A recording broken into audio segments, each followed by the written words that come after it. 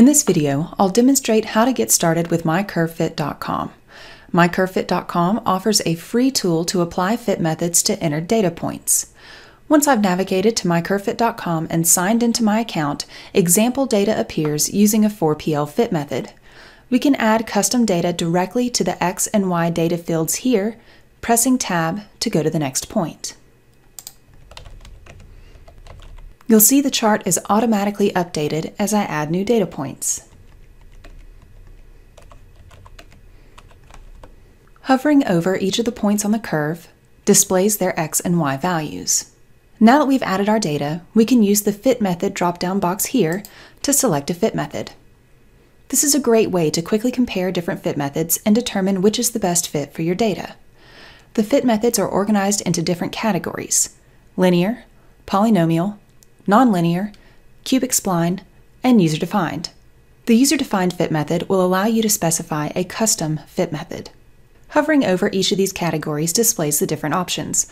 For example, the linear fit methods are linear regression and point to point.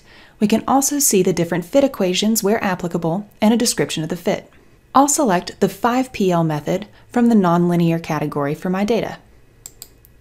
You'll also notice the weighting option available on the right-hand side of the screen. Weighting automatically assigns a weight to each calibrator, allowing you to bias the fit towards certain points. To learn more about weighting, click the What's This link to open an explanation. In gray, below the curve chart, we can see additional information about the fit, including the goodness measures, coefficients, and fit equation we can click anywhere in this gray space to expand the details and view the goodness measures, coefficients, and equation in greater detail. We can also click the What's This link to open an explanation of the different goodness measures and how they can help you assess your fit.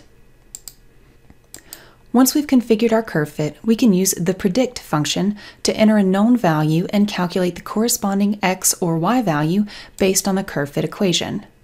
For example, I'll enter a series of known y values 1.5, 3.2, and 6. From these y values, corresponding x values are calculated. These values appear on the curve chart as blue triangles. If we would instead like to calculate y values from known x values, we can use the swap option here to change which value is known. So entering my x-axis values, the corresponding y values are calculated, and again these points appear as blue triangles on the curve chart, and hovering over the points displays their x and y values.